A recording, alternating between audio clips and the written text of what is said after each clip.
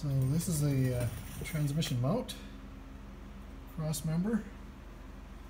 It looks like it took a hit here from something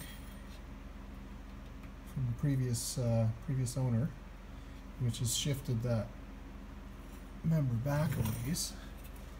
And uh, so in and look on the other side here. yeah, where is it? Hard to see. Yeah, there we go. So that bolt hole is ripped through. Top one's okay.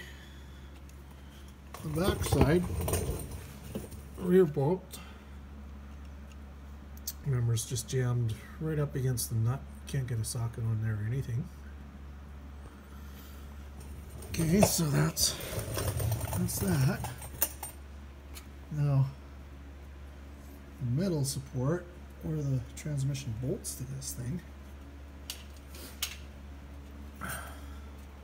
So there's a little chair here. I'm assuming that's some sort of rubber isolator.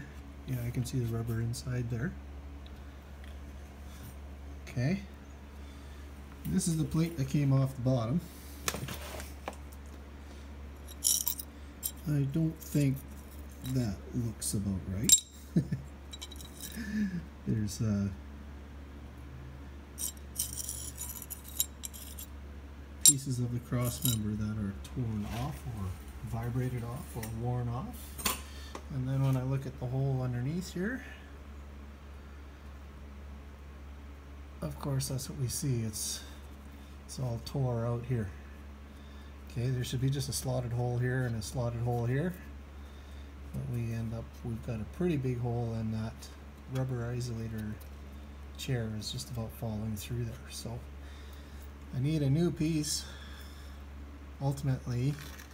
And in the meantime, uh, yeah, I'm not sure what I'm gonna do. I might put a, an eighth, one eighth plate up above underneath this just so it spreads that load out towards the edges of this cross member where the strength is and then I'll take this piece I'll weld it weld it back on there.